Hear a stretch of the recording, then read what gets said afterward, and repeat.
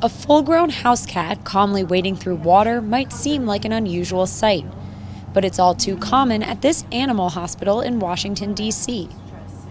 Bess, an 11 year old Maine Coon cat, is getting her weekly dose of hydrotherapy to help with her arthritis. Gotcha. Oh, there we go. Tough workout, huh? Another patient, Bella, is having laser therapy on her joints before she too will enter the hydro tank.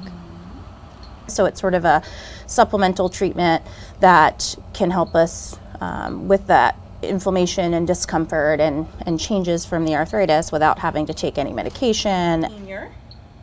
With laser therapy costing $65 and hydrotherapy another $89 per session, these treatments aren't cheap, but pet owners say it's worth it.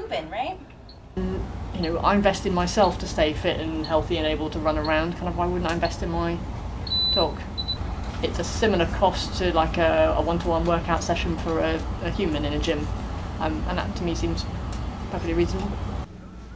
Annual spending on pets has reached a record high of $72.5 billion in the U.S. and is expected to rise another $3 billion this year. It's part of a growing trend of humanization of domestic animals.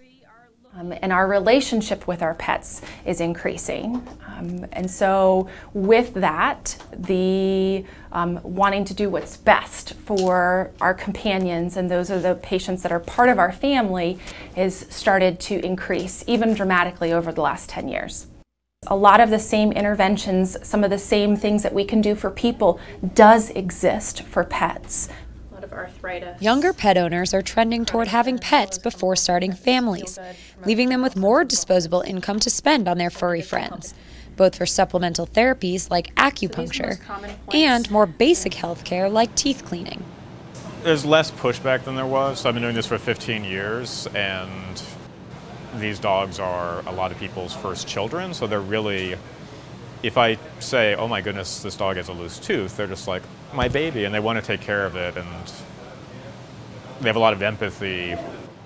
While there are many benefits, experts warn that in some cases, treating animals like humans can pose health risks. They say owners should always seek guidance before imposing their own dietary or health regimens on their pets.